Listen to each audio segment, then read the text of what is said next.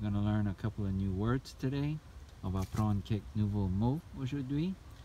The first is the word for rotten, and that is pourri. Here we see a rotten tree. Ici on voit un arbre pourri.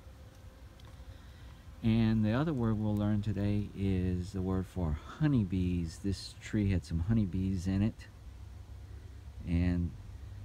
The way we say that is mouche à miel, literally a fly of honey.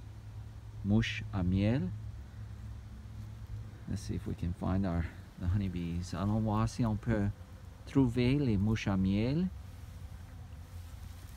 Leur nick, their nest, était ici dans, was in here, inside that part of the tree.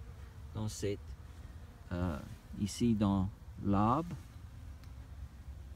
You can see some of the honeycomb. There's not really a, a word for honeycomb. On dit du, du honeycomb. Ou it's like their nest. C'est comme leur nick.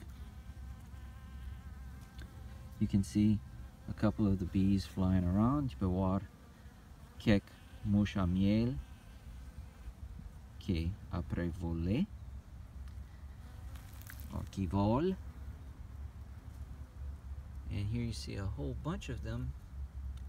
It's kind of cold, so they're just um, kind of almost hibernating. C'est ici tu vois plusieurs de, de les mouches à miel. C'est maillot froid. Ça fait, c'est comme si son peut dormir.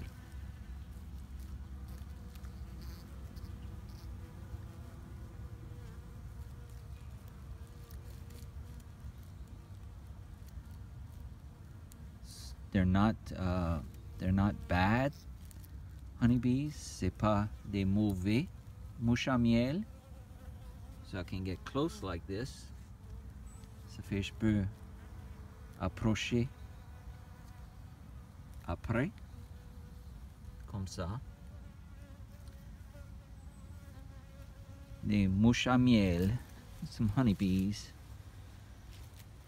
See some more of the honeycomb right there.